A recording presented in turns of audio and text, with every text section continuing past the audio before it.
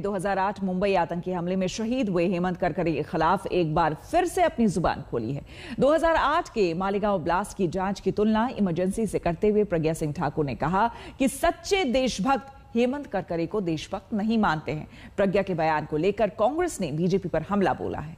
हेमंत करकरे ने जिसको लोग देशभक्त कहते हैं, वहाँ के लोग थकते नहीं है, पर वास्तव में जो देशभक्त हैं, वो उसको देशभक्त नहीं कहते हैं। ठीक सुना आपने, भोपाल की बीजेपी सांसद शहीद हेमंत करकरे को देशभक्त नहीं मानती।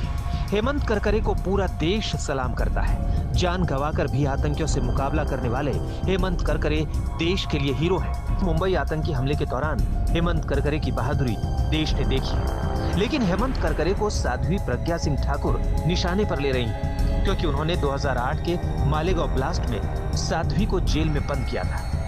हेमंत करकरे उस समय मुंबई एटीएस के चीफ थे।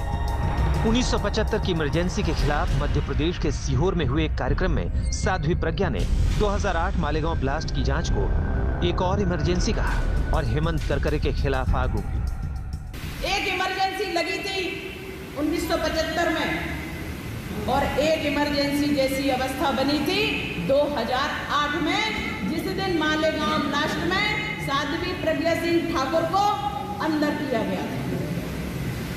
मैंने स्वयं उस चीज़ को झेला भी है, देखा भी है और सुना भी है और हमारे लोग, मेरे आचार्य जी जिन्होंने मुझे पढ़ाया कक्षा आठवीं में, उनकी उस हेमंत करकरे ने, जिसको लोग देशभक्त कहते हैं, वहाँ के लोग थकते नहीं है, पर वास्तव में जो देशभक्त हैं, वो उसको देशभक्त नहीं कहते हैं। उन्होंने हमारे, हमें कक्षा आठवीं पढ़ाने वाले आचार्य जी और शिक्षक को उनकी उंगलियाँ तोड़ दी। प्रज्ञा सिंह ठाकुर ने पहली बार हेमंत करकरे के खिलाफ बयान नहीं दिया है। 2019 के लोकसभा चुनाव के दौरान प्रज्ञा सिंह ठाकुर ने कहा था कि करकरे की मौत उनके श्राप से हुई है। लेकिन जब हंगामा मचा तो प्रज्ञा सिंह ठाकुर को करकरे पर अपना आक्रामक रुख छोड़ना पड़ा था। तब प्रज्ञा को बयान वापस लेकर माफ़ी मांगनी पड़ी थी।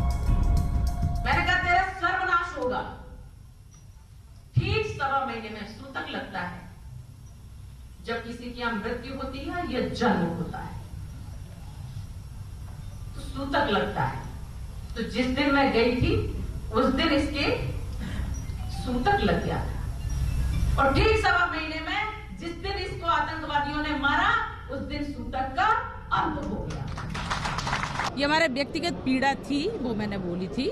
और हमें ऐसा लगा कि हमारे दुश्मन देश खुश हो रहे हैं। हम देश के दुश्मन और बाकी के सब दुश्मन खुश हो रहे हैं। इसलिए मैंने कहा, ये मेरे घर की बात है। घर में अगर किसी प्रकार की पीड़ा होती है तो हम अपने घर में निपट लेते हैं। पर अगर बाहर कोई दुश्मन हमारे खुश हो रहे हैं तो मैं बिल्कुल अपना बयान वापस लेती हूँ और क्षमा भी चाहती हूँ। अब जब एक बार फिर प्रज्ञा के बोल हेमंत करकरे के खिलाफ बिगड़े हैं तो कांग्रेस को मौका मिला है। प्रज्ञा सिंह ठाकुर के विवादित बयानों से बीजेपी की मुश्किल खड़ी होती रही है। बीजेपी उनके बयानों से किनारा करने की कोशिशें ज़रूर करती है, लेकिन विपक्ष पार्टी को घेरने से नहीं चूकता। सीहोर से नवेद जाफरी के साथ, आज तक ब्यूरो। हमारे लिए वक्त हो गया है एक छोटे से ब्रेक का बने रहे हमारे साथ, देखते रहिए आज तक।